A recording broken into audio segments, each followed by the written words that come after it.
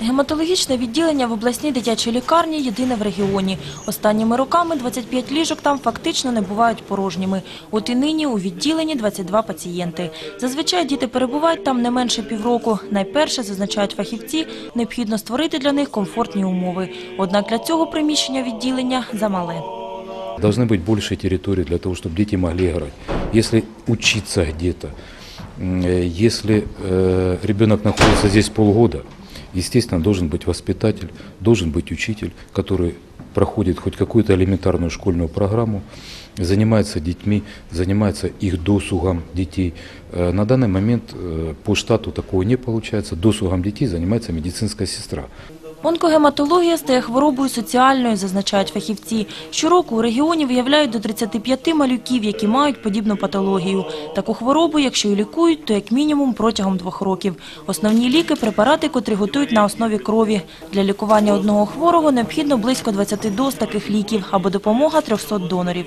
Адекватное лечение таких детей невозможно без адекватной заместительной трансфузионной поддержки. Имеется в виду препараты крови, тромбоконцентрат, плазма крови. То есть это та, кото- те препараты, без которых мы, к сожалению, на определенном этапе вообще не можем проводить химиотерапию, а э, эти препараты крови являются жизненно необходимыми.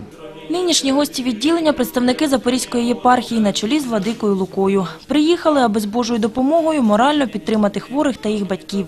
Тож біля мощів святого Пантелеймона, привезених духовенством, зібралися навіть пацієнти у вкрай тяжкому стані. Для багатьох Бог та ще небайдужі люди – єдина надія на порятунок.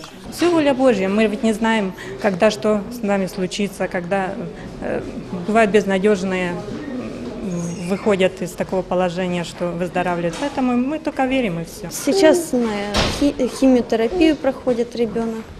Нужны очень доноры. Доноры крови очень нужны.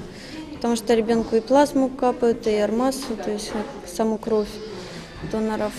И у нас уже истощились просто все друзья, знакомые поздавали, больше некому.